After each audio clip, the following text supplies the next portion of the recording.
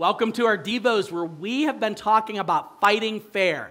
Most of the problems that we have in our lives with conflict is that we do not know the rules of engagement and we don't fight well. I'm not talking just to married people, though married people will benefit from this. I'm talking about conflict in general. You can't avoid it. If you are bumping up against other sinful people, you're going to have to deal with conflict in one way, shape, or form. And especially if you're a leader, a manager, somebody that, you know, is maybe a team leader, if you're in school and you have one of those group projects, you know, Jon Acuff said, this is funny, this is a, a, a random thing, but Jon Acuff said that one of the funniest things his daughters ever said to him, he has teenage daughters, one of his daughters said, Oh man, I am so glad that I'm going to be done with group projects soon because I want to be able to finally get to a workplace where everybody, you know, carries their own weight and everybody's working the same way. And he said he laughed so hard he thought he was going to need stitches because group projects in school basically are translated and move on to work projects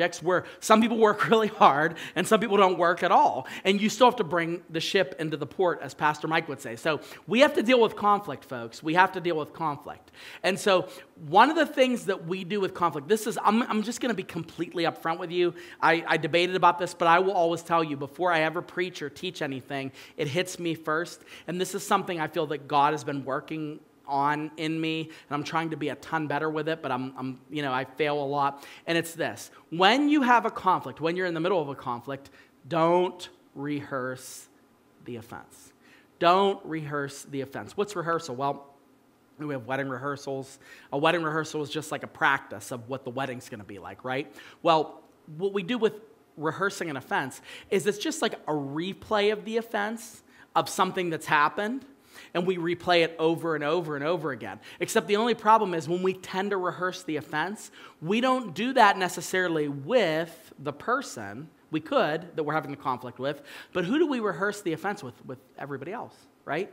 You know, you have a bad conversation with your boss. What do you do? You call your best friend, or you call your coworker, not your best friend. You call your coworker. Listen to what the jerk just said now. You know what they actually did? They actually said that my sales numbers have never been lower. When historically, okay, so they say all the things, they rehearse all the things that they should have said to the person that they have the conflict with.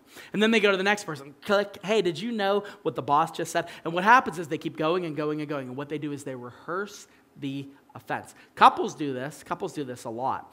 Um, when they're married, a lot of times what they'll do is, you know, they, they have a fight with their significant other. And unfortunately, one of the places this tends to go, which this is super deep and just extra bonus counseling for you if, the, the, you know, if you're married, this might help.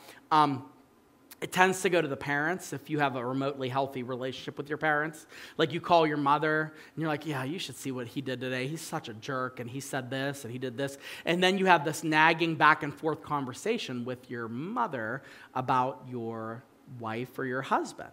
So then what's going to happen? Well, the next time another confrontation comes up between you and your spouse, you call mom again, hey, you should see what they did this week. They are so stupid. They do. And you say all the things. You rehearse the offense, you rehearse the offense, and what happens? It grows bigger and bigger and bigger. While at the same time, what you're doing is you're diminishing the value that that external person has for that other person.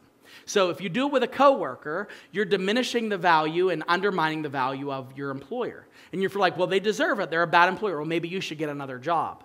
Maybe you should think about that. If your employer's so bad, why don't you go somewhere else? I don't know. Just thoughts. There's tons of jobs out there. If you hate it so bad and you have to talk badly about your employer all the time, maybe that's just not the job for you. Now, when I say those kinds of things, it sounds like I'm being harsh, but I'm not. Because there's a really good chance that you talk badly about your boss in the last job, and the job before that, and the job before that, and the job before that. It's not your boss, okay? You're in a pattern of rehearsing offense. And when we do it, it really destroys relationships in a multiple a multitude of ways. It does it with that person that we have a conflict with, but it especially really damages those around us because then you're known as that person who just, oh, she's gonna call me and tell me her problems she's having with her friends again. She's gonna call me and tell me about all the problems she's having with her coworker, you know, and, and it causes issues. Proverbs chapter 17, verse 9. This is a beautiful passage, and I've, I've really been committing this. Pastor Luke, uh, in, our men, in a men's study that he did a couple weeks ago, talked about forgiveness. And this is a verse that he brought up. And he says, Whoever covers an offense, this is what the Bible teaches, whoever covers an offense seeks love, meaning they cover it, they get past it, they move on. He says, But whoever repeats a matter, repeats a matter, repeats a matter, separates close friends. There is nothing truer than that. Now, spouses do this a little differently.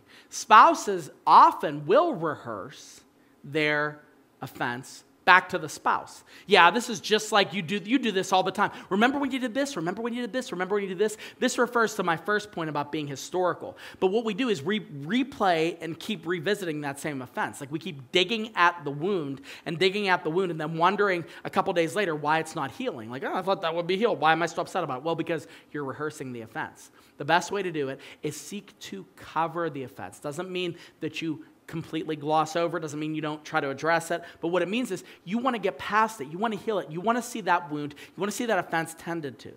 So what will happen is the relationship will be restored, as opposed to this constant, you know, malignancy that happens in the context of the relationship. I want to encourage you to keep discussion about the offense to the person, and the conflict to where it should remain. Don't keep rehearsing it because it's only going to rip apart more of a relationship that's already in tatters.